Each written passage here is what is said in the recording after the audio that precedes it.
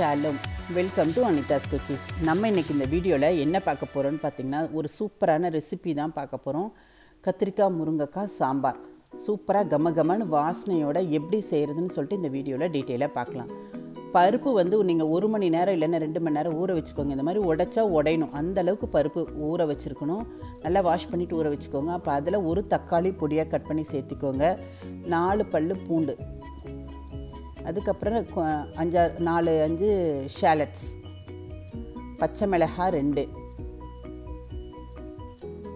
இது எல்லாம் சேர்த்து நம்ம இதை குக்கரில் சேர்த்திக்கலாம். ஏன்னா நம்ம குக்கரில் தான் வேக வச்சு செய்ய போகிறோம் இல்லையா? அதனால குக்கர்லேயே டைரெக்டாக சேர்த்திக்கலாம். சேர்த்துட்டு கொஞ்சமாக மஞ்சள் பொடி. கொஞ்சமாக சீரகம். இது வந்து அந்த பருப்போட வாசனையை என்ஹான்ஸ் பண்ணி கொடுக்கும். அதுக்கப்புறம் இது பொங்காமல் வேக வைக்கிறதுக்காக விளக்கெண்ணெய் கேஸ்ட்ராயில் ட்ராப்ஸ் ஊற்றுனீங்கன்னா போதும். நிறையா ஊற்றக்கூடாது கொஞ்சமாக ஒரு ரெண்டு ட்ராப் ஊற்றினா போதும். பர்ஃபெக்டாக பூ மாதிரி வெந்துடும் பருப்பு.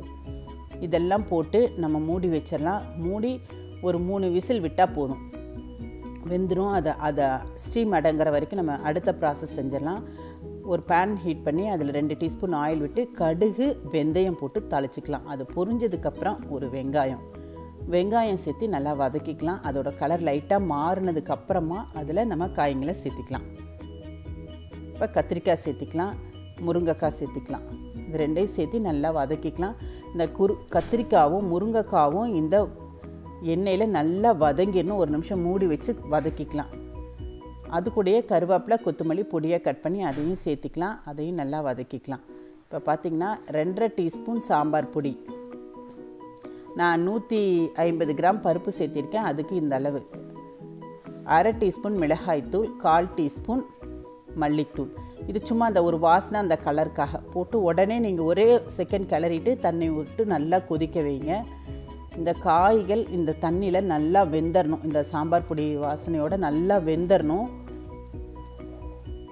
இடைக்கிடைக்கு நம்ம கிளறி விட்டுக்கலாம். இப்போ பார்த்திங்கன்னா இது நல்லா வெந்துருச்சு. இந்த ஸ்டேஜில் பருப்பு பாருங்கள் எவ்வளோ பூ மாதிரி வெந்திருக்குன்னு சொல்லிட்டு அதை நல்லா மசிச்சுட்டு நம்ம வந்து இந்த ப சாம்பார் கொதிச்சிருந்தது இல்லையா இதில் காயெல்லாம் வெந்துருச்சு.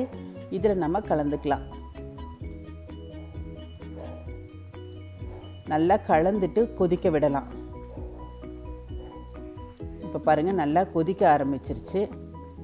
நல்லா கொதிக்கணும்.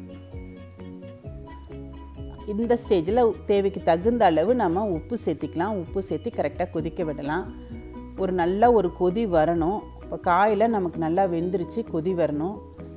கொதிக்கும் போது இதில் புளி தண்ணி சேர்த்திக்கலாம். ஒரு சின்ன கப் அளவு ஒரு சின்னதாக நெல்லிக்காய் சைஸ் புளி எடுத்து கலந்துக்கலாம். ஏன்னா இதில் தக்காளியும் போட்டிருக்கிறோம். அதனால் அதுக்கு தகுந்த அளவு நீங்கள் புளி சேர்த்தி அதையும் ஒரு ரெண்டு நிமிஷம் கொதிக்க விட்டிங்கன்னா போதும். வாசனையான சா கம கமக்கும் கத்திரிக்காய் முருங்கக்காய் சாம்பார் ரெடி ஆயிடும் இது நல்ல வாசனையாக இருந்தது. வீடே மணந்தது ரொம்ப டேஸ்ட்டாகவும் இருந்தது. உப்பு புளி காரம் இதெல்லாம் பர்ஃபெக்டாக இருந்தது.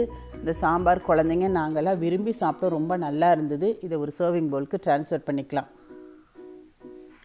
நாங்கள் குழந்தைங்களாம் விரும்பி சாப்பிட ரொம்ப ரொம்ப டேஸ்ட்டாக இருந்தது. இதே மாதிரி சாம்பார் ரொம்ப சிம்பிளாக நீங்களும் செய்யுங்க.